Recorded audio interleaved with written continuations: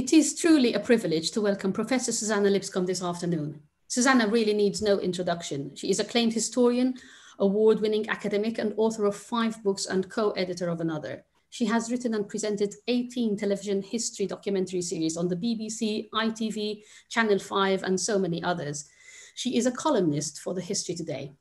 If this were not enough, Suzannah was creative director of the award-winning We Are Bess exhibition at the National Trust's Hardwick Hall in 2018-19. Suzannah's research focuses on 16th century, both English and French history. This afternoon, she will be sharing her fascinating insight into life of women Tudor times, revealing archival detail and exploring how women navigated power in the 16th century. Thank you, Suzannah. Thank you. Hello, everybody. It's great to see you. Thank you so much um, for tuning in today uh, to, to, hear about tales of women in the 16th century. Um, so I'm just going to share my screen with you now so you get to uh, see my, some of my PowerPoint as I go along, but we'll come in and out of that as we go. The truth of the matter is that most women who ever lived left no trace of their existence on the record of history. In Europe in the 16th century, about 5% of women at most were literate and they were members of the elite. And that means that ordinary women left no letters, no diaries, no helpful notebooks expressing their thoughts and feelings. They tended to have few possessions, so they didn't tend to make that many wills. Um, they had no status under the law when they were married, so they don't really appear that often before criminal courts. And in France, which is where we're going to be concentrating on today, in courts where they do sometimes appear, ecclesiastical courts um, before the bishops of the Roman Catholic Church, no records survive between about 1540 and 1667. So we have this massive gap. What we do know about women at this time indicates their lack of power. So they were believed to be weaker than men, physically, uh, morally, emotionally, um, in every way, and certainly intellectually. Under humoral theory at the time, which you probably know is the balance of four humors, women were considered to be uh, colder and wetter and men to be hotter and drier. And this had some consequences. So it was thought that women's cold, moist constitutions was what rendered them uh, emotional and illogical. Um, women menstruated, men with all that excess heat burnt up the excess blood. Um, women did not grow bald. Men had all that heat that burnt off their hair. Uh, women's matter collected around their hips, but men had that heat that drove their matter heavenward, giving them big, strong so- shoulders. In fact, it was actually thought that women were deformed men, that there hadn't been enough heat in the process of conception to force their genitals out of their body. And this was thought from the time of Aristotle onwards. And because women were imperfect and imperfect things long after the perfect, women were considered to be more lustful than men. In fact, sex was thought to be biologically necessary for women. And there could be terrible consequences if you didn't have enough sexual intercourse, uh, for including the wandering womb. You've come across the word hysteria. You'll probably know it relates to the word uterus in Greek, your womb could wander around your body, women, and it could produce depression and irrationality. And William Harvey, who discovered the circulation of the blood, and otherwise we would say, you know, is the cutting edge of the scientific revolution, wrote this about the uterus that it was insatiable, ferocious, and animal like. And it wasn't just sexual lechery that was the problem. Women were thought to be more easily tempted to sin than men in every way, because, of course, Eve had been the conduit of sin into the world. And so the consequence of all this was that women were thought to need men to hold them upright. And the colliery was that they were not entitled to power. Um, they could not hold public office, they could not go into higher education, they couldn't take up roles in the church or in law or in government. They were on the fringes of the medical profession. They couldn't join trade guilds except when they were widowed. And in France, under Salic law, they couldn't even inherit the throne as they could in England with Mary and Elizabeth. Men's word carried more weight than women's. Uh, the word testimony is related to the word testis. Um, and women were legally subject to their husband in all things. Uh, for example, when they married, a woman's goods and possessions became the property and responsibility of her husband, and he could dispose of them without her knowledge or consent. So a married woman couldn't own property, and divorce was illegal. But this was a period in which it was terribly common um, for women to experience a certain amount of um, physical discipline by their husbands, as it was thought at the time. We'd call it domestic abuse. Uh, at the time, it was considered acceptable if it was done moderately, soberly, and for good cause. So imagine once women are married, which tend to be, by the way, uh, relatively late for ordinary women. Um, there was a culture of life cycle service. So, at about the age of 13, ordinary women would become domestic servants and enter into another household and then work in order to save up money for their dowry. And that could be 10, 15 years. Men at the same sort of time were becoming apprentices and then journeying up uh, to be journeymen and then to become masters so that they could raise up money to build their own establishment. So we have to imagine marriages happening for most people um, much later than we've imagined, more like us in the late, their late 20s, 25 to 28 or something like that. So once a woman had become uh, married, then if she could, she would probably start having children pretty quickly because at the time there was no reliable contraception. This means that women, once they were married, were pregnant on average every other year. And that means that they had 8, 10, 12 pregnancies. Um, and every time they got pregnant, two lives were at stake. Maternal death rates were 16 to 25 per thousand live births. Today, for comparison, they're eight out of every 100,000 live births, and half of all children died in the first year of life.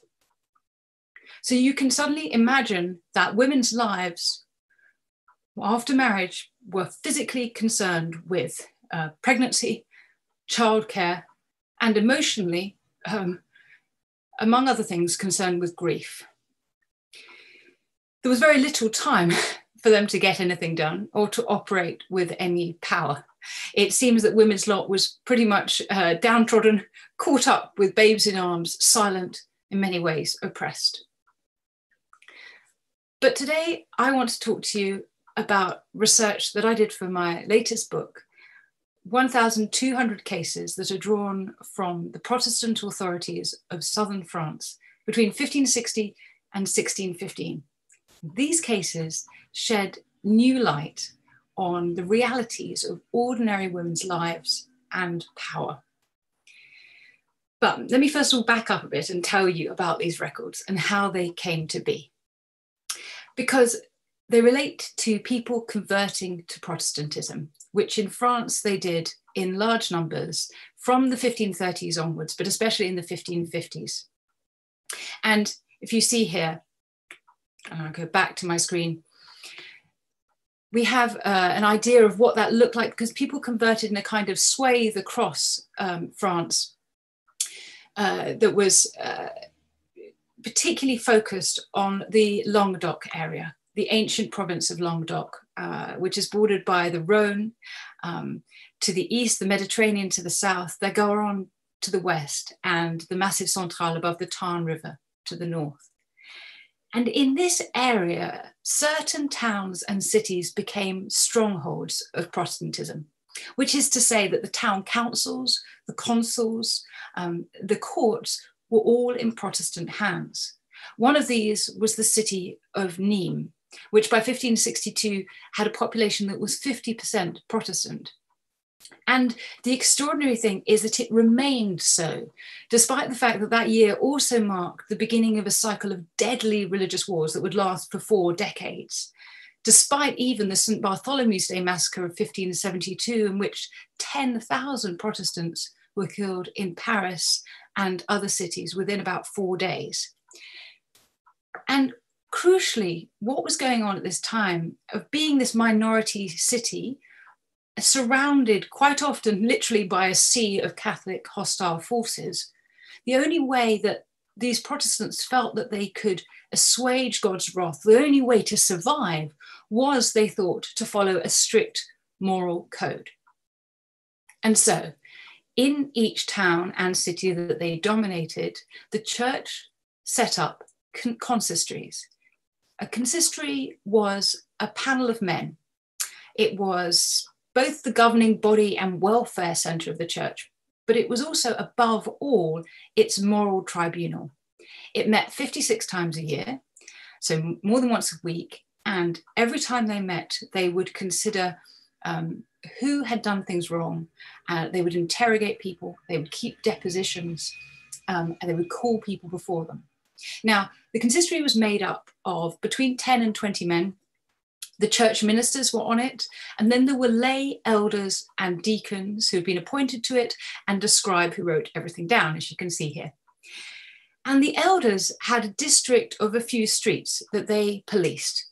This is a map of Nîmes in 1562 and uh, drawn by Adrian Thiel. And this is um, a, a, picture showing modern Nîmes, and I've mapped the old city onto it. You can see the Roman amphitheatre, Les Arènes, at the bottom.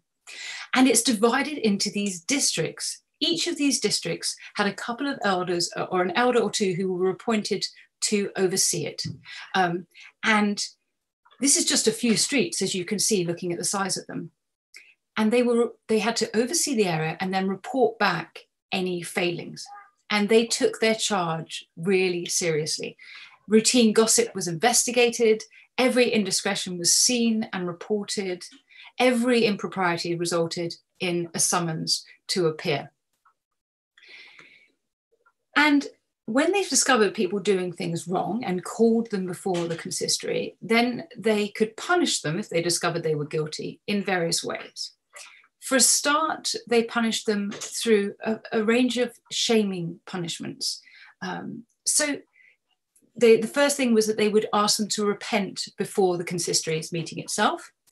But if it was slightly worse as a sin, then they would ask them to repent before the whole church on a Sunday. If it were worse still, or if they were, you know, somebody who did the things again and again, then they would suspend them from the Eucharist, which was the central rite of the church. And the worst case scenario was excommunication from the church, which meant no social or economic intercourse with the members of the church. And for quite a while, historians used to think that these punishments, because they weren't corporal or capital punishment, although actually, in fact, the consistory often was working hand in glove with the local authorities who could do those things, but historians used to think that they were slightly toothless as punishments.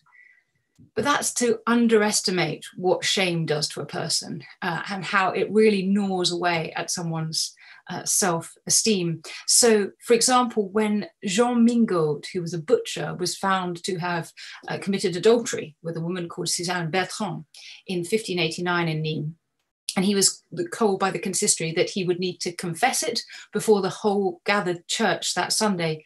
He said to the consistory that they were being too severe with him and that he would prefer to suffer death immediately than perform the said reparation. Now, we don't necessarily need to take his words at face value, but it gives us some indication of how awful it felt to be accused um, and be told that you needed to confess before everybody. The object of all of this moral discipline was to create a community visibly distinguished by holiness. And so there were certain disciplinary priorities that the consistory had um, when they considered what they wanted done. They cared, for example, about eradicating superstition and heterodoxy.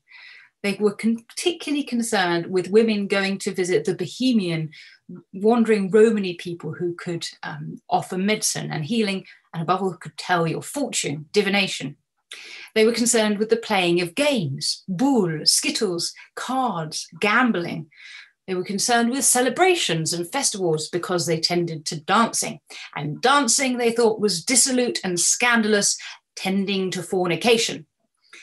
They also were concerned about quarrels and fights, theft, violence, insults. They would seek reconciliation between people. But above all, what they were concerned with was sexual sin. They were concerned with fornication, adultery, sexual assault, and prostitution. They were concerned with making a society that looked holy. And they kept all the records of their um, of their interrogations in these beautiful uh, documents that are kept now in the archives in Paris and those in the departments of France. And here you can see it. It says the Register of the Reformed Church of Nimes. It's between 1595 and 1601. And it's bound in vellum, and the pages are parchment. And inside, we see pages like this, covered with secretary hand, um, filled with cases of interrogation, uh, depositions, deliberations, and conclusions. And focusing on 1560 to 1615, I have examined the records of 16 cities and towns. In the end, I've focused on 10 of them. Some 9,000 uh, pages of these registers and using, in the end, 1,200 cases and supporting that with other archival material like baptismal and marriage registers, um, a criminal register of cases of sentences that we'll see a bit later on, um, and various other things, notarial records. Now, the consistory's preoccupations, um, the fact that they were concerned with controlling morals, and the thought that at the time it was thought that women were more easily inclined towards sin than men, meant that they were concerned with controlling women. And this means that the sources have much to tell us about women's lives and they give us insight into moments when things went wrong. So, moments of social breakdown like um, marital quarrels, rape, malicious gossip, illegitimate pregnancies. These are fissures which act for us as windows into their society. So, we get an idea about women's faith, their social relationships, their marriages, um, their sex lives, and those two things aren't always coterminous. Um, moments of crisis, um, their beliefs about magic, courtship, all this sort of stuff.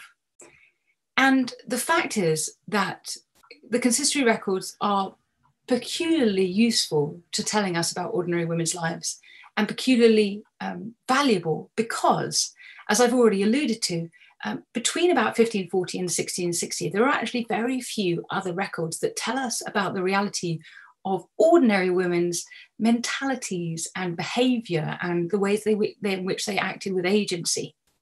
But there are also a few other reasons why these sources are particularly valuable. Women could initiate cases before the consistory.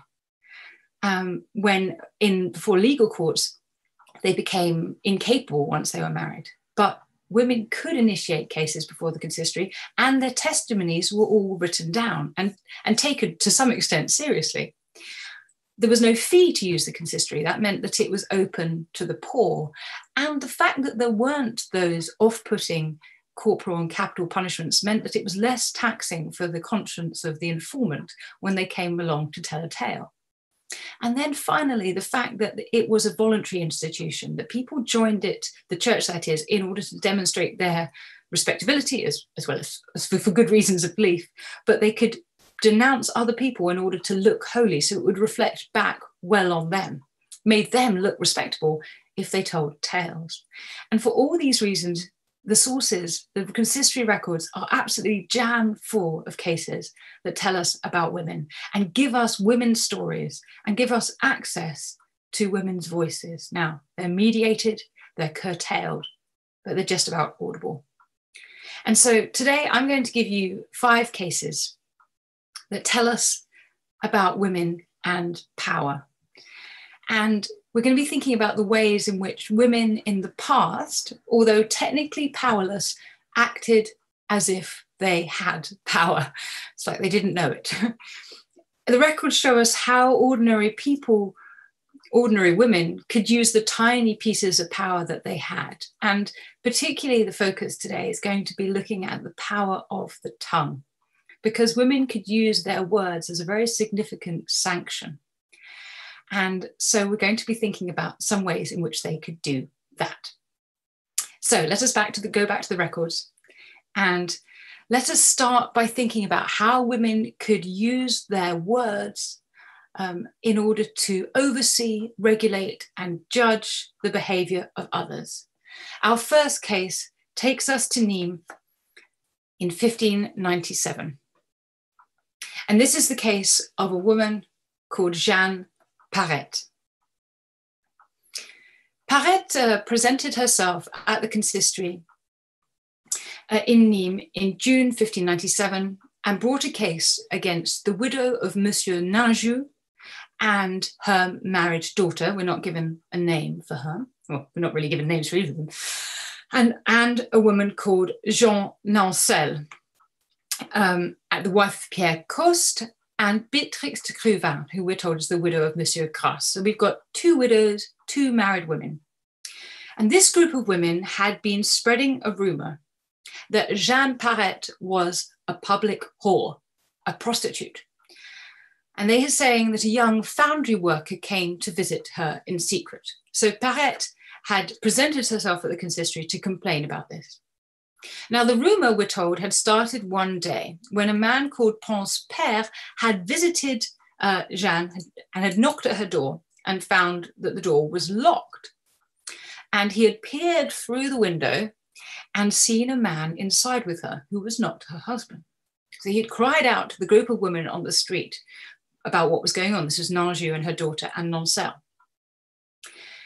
He cried out to them that Parette had locked the door, that there was a man inside. And so the group of women approached the house and shouted to her that she did not act well to stay with a man all alone and to have closed the door behind them, and that they could not think anything good of her and that they did not want to put up with such assignations, and that if she continued, they would have to denounce her to the magistrate. At this moment in time, Beatrix de Cruvin was passing, saw the group assembled, heard the hubbub, and asked what was going on, and said, It ought not to be endured. the funny thing is, there were probably perfectly legitimate grounds for Jeanne Parette to be inside with this man. Um, he was described as uh, a foundry worker, and they're described as being of uh, being of her occupation. She was married to an armorer or a cutlerer. In other words, he was probably employed in the marital household workshop. But the group of women were really quick to judge the confinement as necessarily sexual. And they asserted their right to judge such behavior. The way they acted posited their right to get involved and to delineate the boundaries of acceptable conduct. And they assumed the moral responsibility to report such scandalous behavior to the authorities and to gossip about it meanwhile. In other words, they're arrogating to themselves the role as moral guardians and as moral judges. Women could also mobilize into action. In May 1588, we have another group of neighborhood women led by the wife of Guillaume des Arènes and her neighbor Marguerite. These women gathered outside the house of a man called Vidal Raymond. Um, Vidal Raymond was a maker of pack saddles. He lived in the Arène, the Roman amphitheatre, that in the 16th century had been converted into dwellings. And these women, as the surname suggests, were his neighbours. And what happened was this they beat their fists on his door. They cried out to Raymond to let them Raymond to let them in, saying that they knew that he had a woman inside with them. He said, "No, that's absolutely the case." He denied it completely, but they forced an entry, and they found a woman in there trying to hide herself under the straw. They chased her out. They called her a whore, and they reported it uh, to an elder. They were still talking about it months later.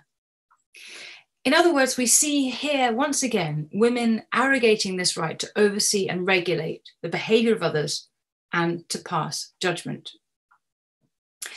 Women could also, however, use the power of their words, their publicly voiced scorn, and their action to shame errant husbands. Our next story tells us of a woman who, if it weren't for her outbursts, would never have appeared in any records at all, would be completely lost to history. And for this, we need to go over to Montauban, the city of Montauban in the west. And we're telling the story of a woman called Anne de Valety in June 1595. Anne de Valety discovered her husband, Pierre Cordonny, trying to have sex with their maid, and she reacted with violence in word and deed. The testimony that we have, first of all, comes from a man called Pierre Arnaud. He was known as Balafra, dancer, completely incidental detail, but quite fun. He was an armourer, again, in Francois Mingaud's workshop. And Arnaud said that on the 28th of June, coincidentally, 1595, he saw Anne de Valety coming out of her house crying and speaking to her female neighbours. She said that her husband had been trying to have sex with their maid, that she had found them lying on a sack together, but had managed to stop them before they were successful. Arnaud had heard her say, in Occitan, which was the language, the dialect of the area, N'aurais jamais pensé que mon mari against fash aquest acte. I would never have thought my husband would have done this act. And this apparently isn't the only time the husband tried. The consistory questioned Courtenay himself a bit later about an incident that had happened allegedly on the 16th of July.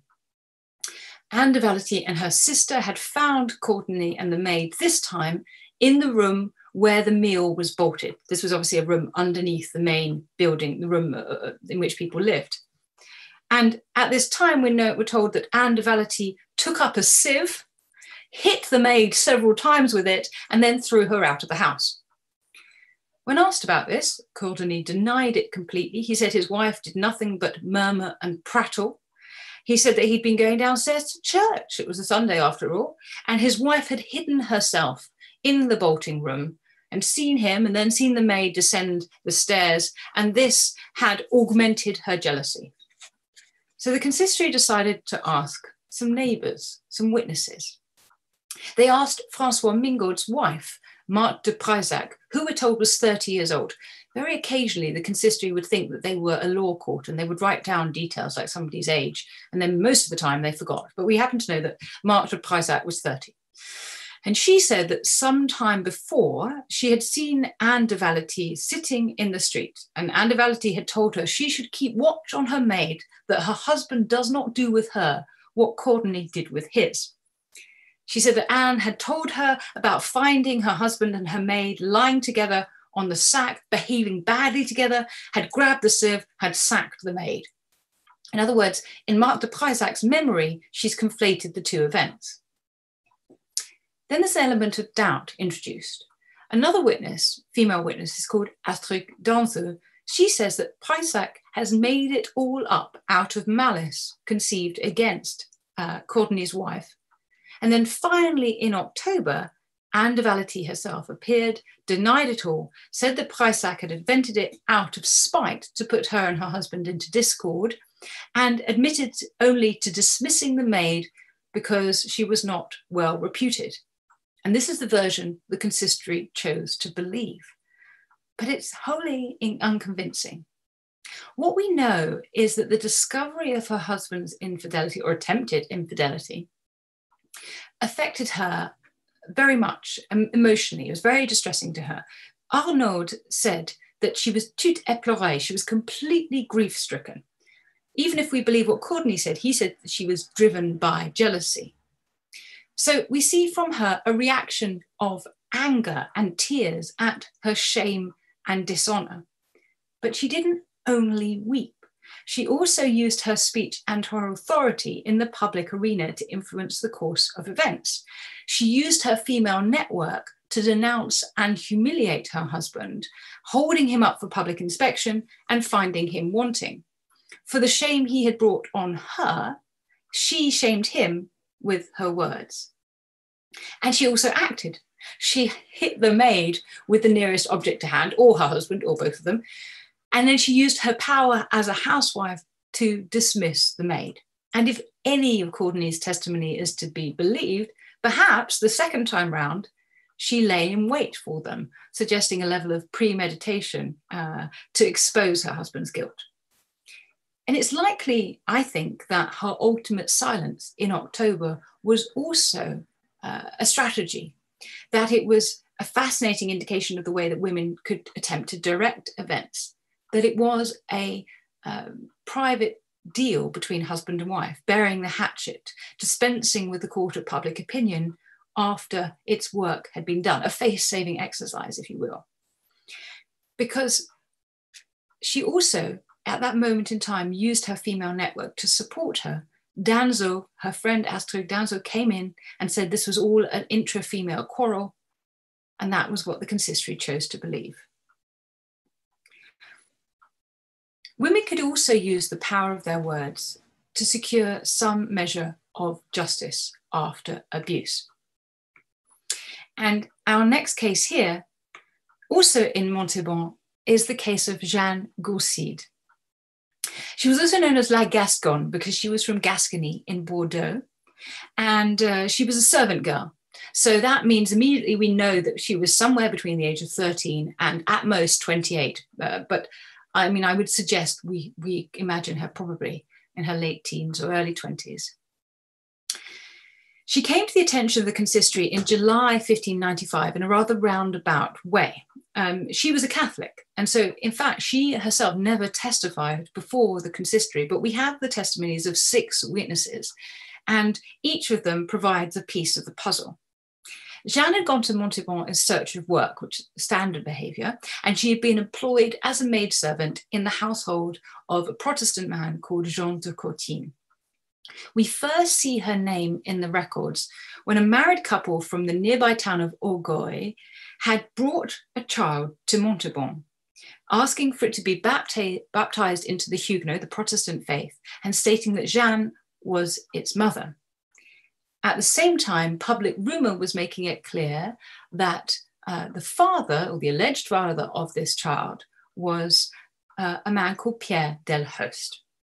Now, Pierre Delhost was a sailor. You see his name in the records here. And he was the father in law of Jeanne's former employer, Jean Courtine. Now, from another source, I was able to learn a bit more about Pierre Delhost. This is a, um, a, register of criminal sentences passed in Montauban between 1534 and 1606. And in this register of criminal sentences, we find Pierre Delhost's name twice. Here he is in a case, um, also in 1595, with a woman called Marguerite Rennes. And here he is, he, she is, he is named in this case of paillardise. Now, paillardise comes from the word pie for hay. It almost literally means rolling in the hay. It's sexual sin, it's fornication, sex outside marriage. Um, and we see him named here with Marguerite Rennes, and we also see him named with another woman in December 1595 in a nearby town called Gaillac. And from these records, we also learn his age, that he's 60 years old. In other words, what we have here is, I mean, the politest word I could use is a womanizer, but I think actually we might go so far as to say a sexual predator. So, what happened in Jeanne, uh, Jeanne um, La Gasconne's case is that she was, her, her employer, Jean Courtine, was first of all summoned to the consistory to give his testimony. He was first of all admonished for the scandal of having let his maid leave his house pregnant some months earlier, three months earlier, in fact and he advised um, that he, you know, he had uh, tried to stop her, he tried to prevent the thing, but he was accused immediately by the consistory of having allowed her to take some medicine um, in order to try and abort the child. In fact, that he had. Um, recommended to her that she abort, and the words the consistory use are the fruit which she had in her stomach, and that he's told by the consistory that he will be culpable before God for this he confessed that he had called the surgeon Pierre Goby at Jeanne's behest um, and after an angry exchange with his father in law. And the consistory was very perturbed about this attempted abortion. And so then on the 2nd of August 1595, they summoned the surgeon, um, Pierre Goby. He said that he had seen La Gasconne. Um, she had asked for medicine to bring on her flowers, i.e., menstruation, but he had replied that the time was not right. And we'll see the time really wasn't right. But we know that Jeanne accessed something because the next witness is female. It's Jeanne's friend, Astrid Capelin. Capelin testified that Jeanne had gone to stay with her after the pregnancy became public. So we can imagine this is after there's a visible bump. And here we get real access to Jeanne's thoughts. As Astruc and Jeanne lay side by side in bed together, pretty much no one slept alone in the 16th century, Jeanne said to her friend that she had an overburdened liver and that she was taking some medicine to purge herself. At this point, Astruc pushed her hand, you know, lay her hands on uh, Jeanne, on her full breast, on her burgeoning belly, and said in the dialect of the time, Jeanne, arrête, non tu podes pas de dire que non s'y en prenne. Jeanne, stop. And what I like about this, arrêt is a word that you use to stop cattle. It's very rustic. Jeanne, stop. You cannot say that you're not pregnant. At this moment, at this instant, we're told, Jeanne said, yes, she was. She was seven months pregnant, that the father was Pierre Delhost, that she was in such great despair that she had resolved to kill herself, um, that she carried a knife with her with which to do so. Astruc told her that if she did that, she wouldn't only kill herself, but she would kill the child that she was carrying. She was very wretched to want to do such a thing. And in various words, managed to persuade Jeanne away from trying to die by suicide. This is a fascinating glimpse into a female response to a frankly very common situation in 16th century France.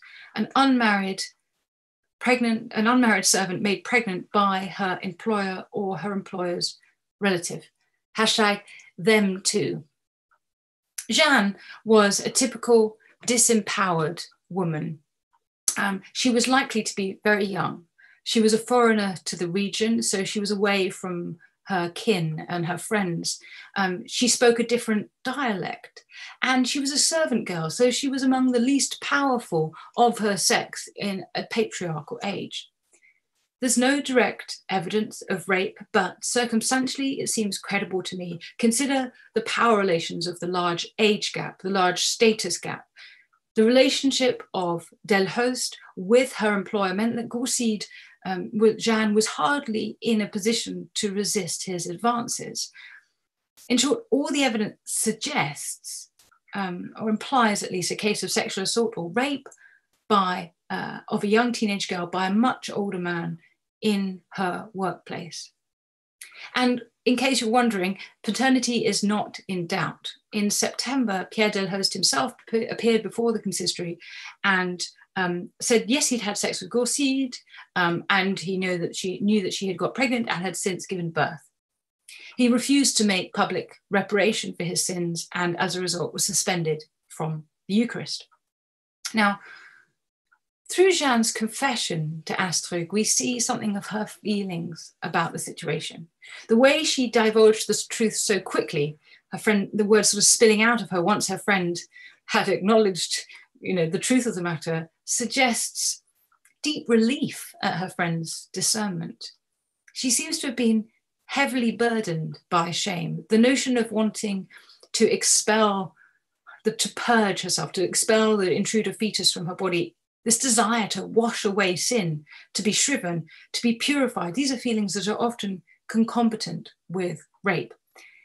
She tried to deal with the pregnancy, first of all, by ignoring it, it's only at, at, it seems, at about seven months that she's trying to get some sort of abortifacient. And then when that doesn't work, she's trying, she considers ki- killing herself in order to get out of this situation. It seemed to her it was the only way to cope.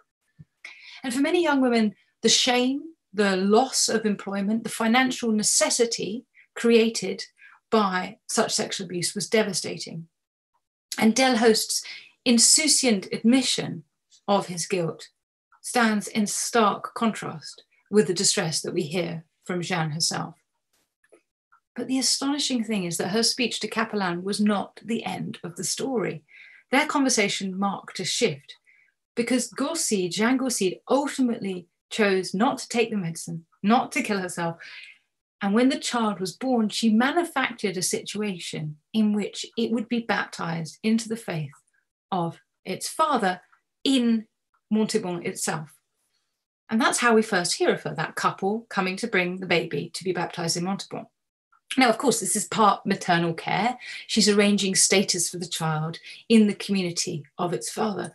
But I wonder if there isn't something else going on there as well, because perhaps there's a more calculated purpose. It's through this mechanism that Pierre Delhost is called to account, and the Catholic Jeanne never testifies. She never appears before the consistory. And the rumor of the paternity that, in fact, brings Delhost before the consistory almost certainly came from Jeanne herself. So, despite her relative powerlessness and her previous abuse, we can conclude that Jeanne had successfully manipulated the systems of her society to regain some measure of control and revenge. Now, we mustn't overstate this. She was still unmarried, she was still unemployed, she still had a child to care for and to support. But at the very least, she had used the consistory, even as a Catholic, to make known and have recorded her version of events, her truth. And she wasn't the only woman to do so. Our final case takes us back to Nîmes.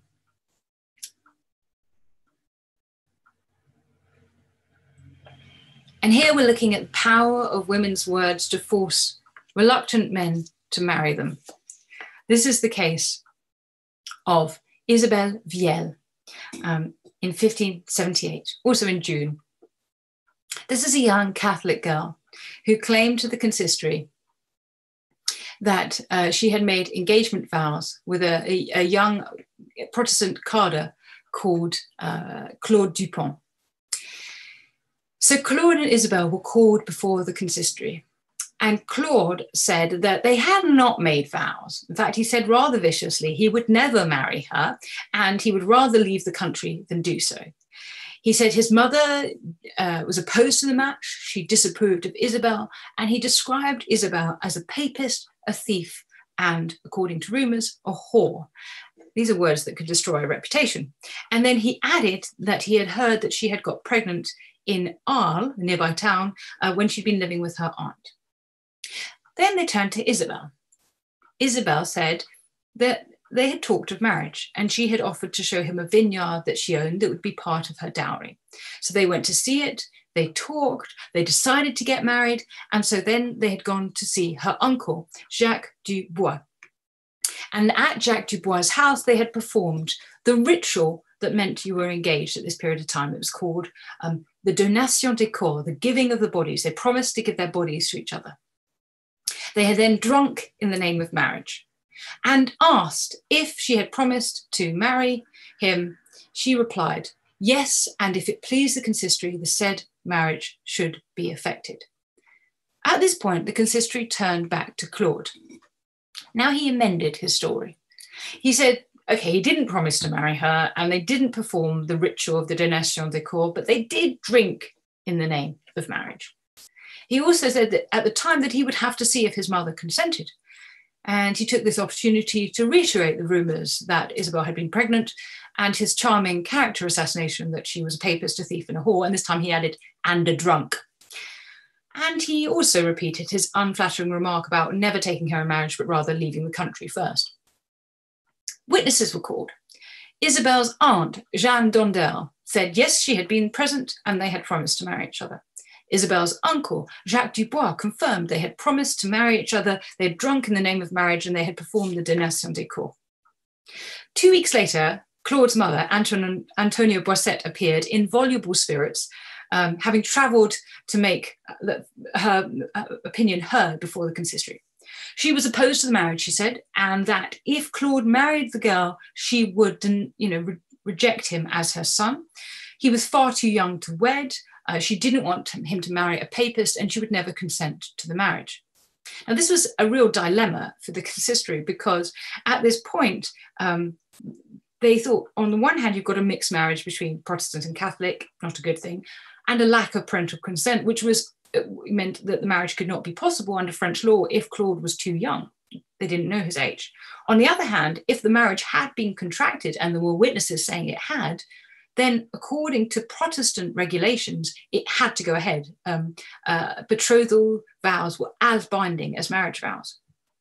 So perplexed, they called two more witnesses Francois Comte, a neighbor who said, yes, he had been present when Isabel and Claude swore that they would marry each other and they would be loyal to each other. And he added tellingly, Claude had said nothing about wanting to see what his mother thought. And Guillaume Gorgas, another weaver, who said that he too had been present at Jacques Dubois' house when Claude and Isabel had given their bodies reciprocally to one another and drunk in the name of marriage. So the consistory is faced with this dilemma. Four witnesses swearing it's taken place, Claude's mother refusing him consent to marry and suggesting that he was too young to proceed without her consent. And I think at this point, the pair's attitudes became of crucial importance. Because the consistory had initially assumed, after Claude's colourful uh, description of Isabel, that the marriage was a falsehood. They referred to it as a pretended marriage, that it was only alleged by Isabel.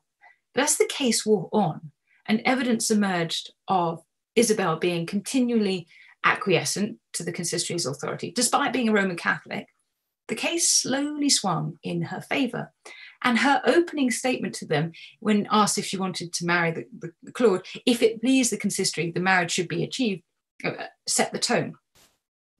And such conciliatory comments were, by contrast, with Claude's misleading and ever changing dispositions, his evident hostility towards his proposed bride, and his humiliatingly public slanders. And when the consistory asked uh, Isabel whether she was of the Reformed faith, and she replied, no, but she had the courage to become so, she won their hearts. And it's worth considering why. Because if Claude's abuse of Isabel, although obviously drawn from sort of stock abuse used against women, if it was based in any truth at all, if Isabel wasn't was known to have had a poor reputation, if she had had a pregnancy, their marriage would have been both hard to secure and incredibly valuable to her. And the fact is that despite her Catholicism, she's so peculiarly submissive to the consistory's authority, and her compliance so effectively highlights Claude's mendacity, suggests to me that Isabel was powerfully and subtly influencing the consistory to her own ends. She may not appear that vocal, but what she did say was very canny. She was determined to get what she wanted. And she wasn't the only one. In court, Claude's mother, Antonia, was thoroughly manipulative, threatening to disown him if the marriage went ahead, giving him that choice between obedience to his mother and to the vows he had made. What judgment would the consistory reach? Well, they were uncertain enough to take the case to uh, the synod at Montpellier, the next stage up of Protestant authorities, where Claude's uncle Francois appeared and confirmed that Claude was old enough to marry and gave his consent, which eclipsed um, the mother's resistance. And so at this point, consent was no longer an issue, and the case came down to which account seemed true. And of course, it was the account with all the witness statements behind it. Uh, Isabel's version of events was upheld. The church eventually judged that the marriage was good and valid.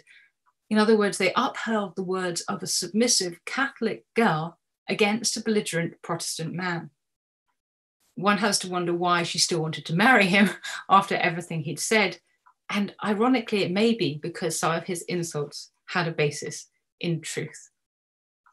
These are only just four, and I'm showing you just, uh, oh, just four pictures and five cases out of 1,200.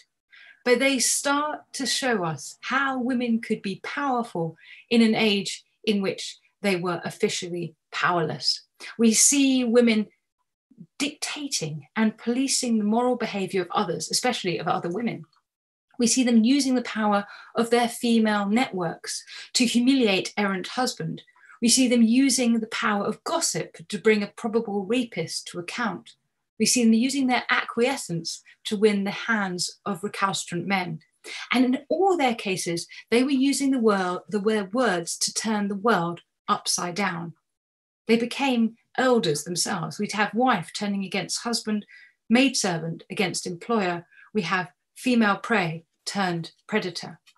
The consistory may have had as part of its remit controlling women.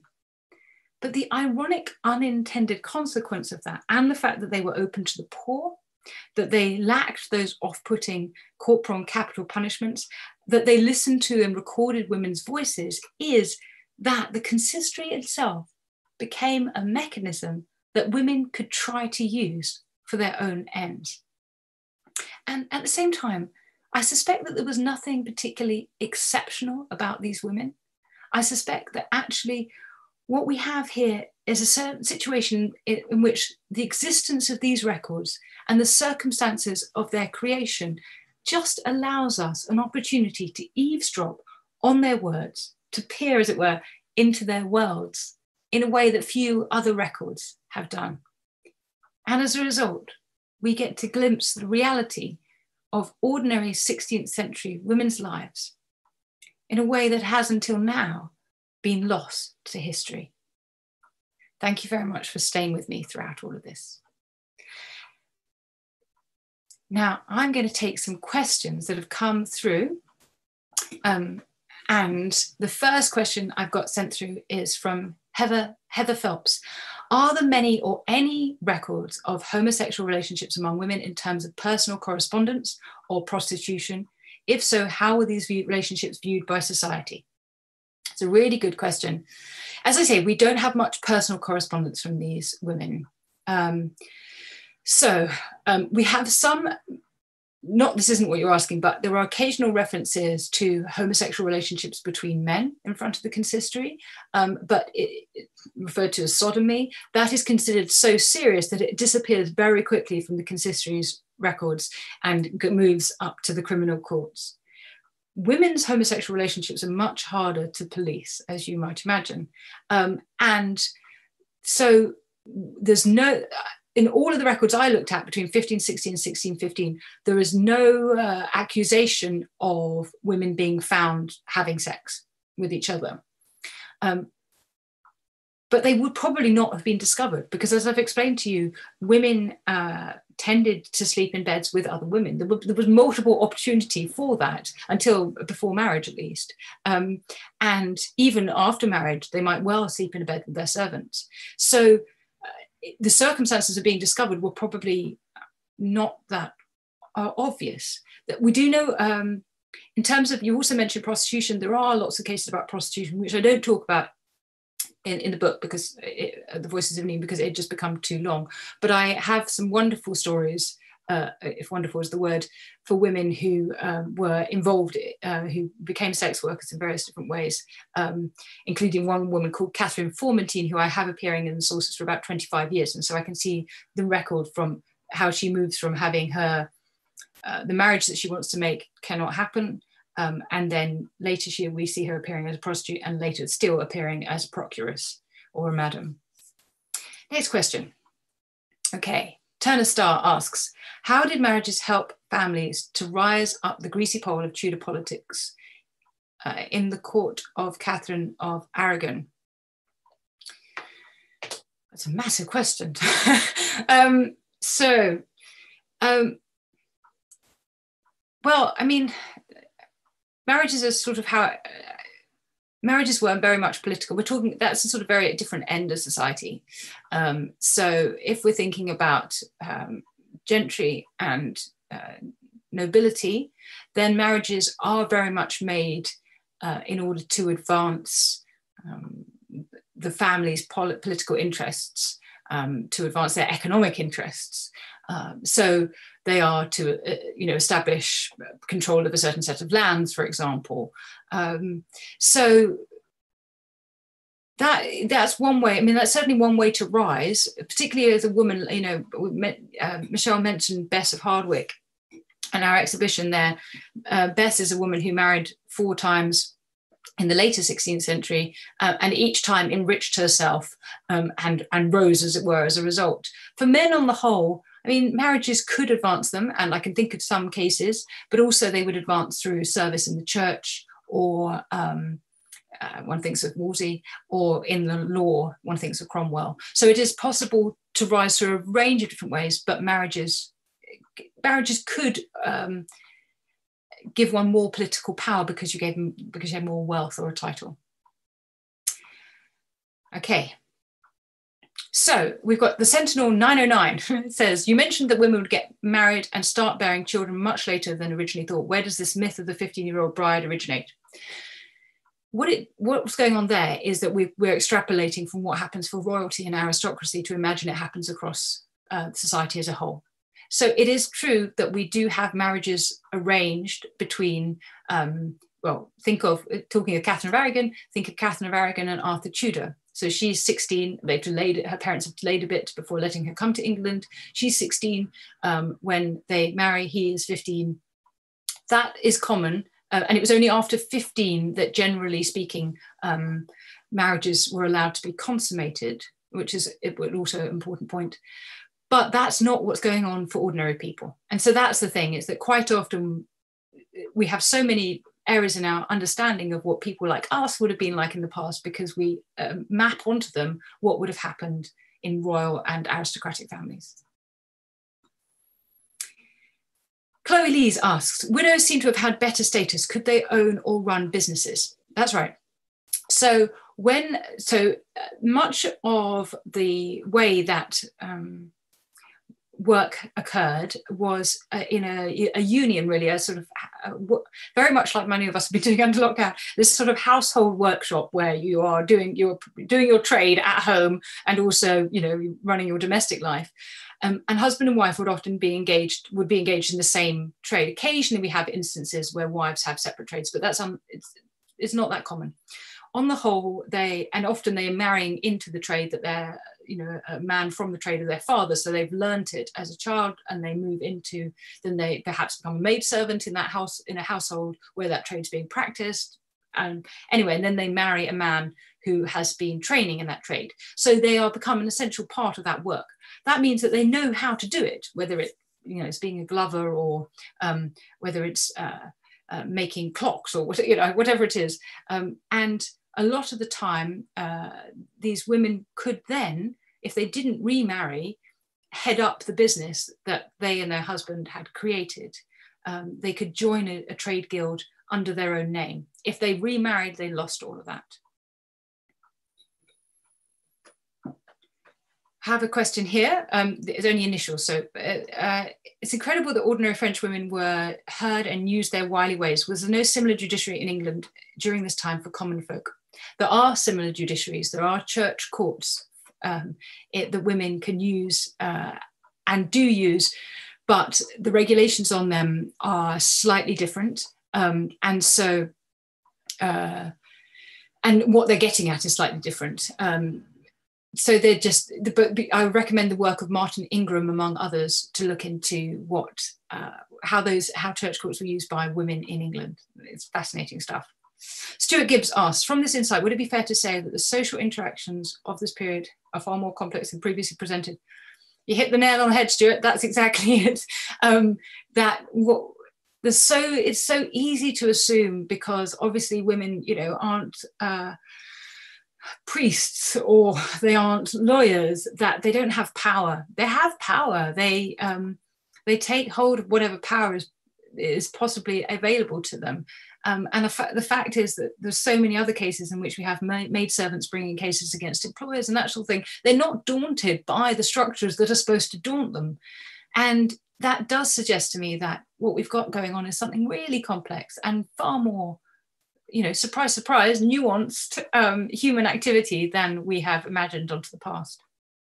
Okay, last one here. Chelsea Bianca Bassnett asks, when will your new book be released and what is the title? So the book on, that I've been talking about today, um, thanks for this question, um, is called The Voices of Nîmes. Um, and it is out already. It came out last year. Um, and um, but I'm working on another book now, uh, also on women, far more famous ones. Let's just say that Catherine of Aragon is part of it. But The Voices of Nîmes, Women, Sex and Marriage and Reformation of is out now. Thank you so much, everybody, for tuning in. I really appreciate it. And thank you for your questions too.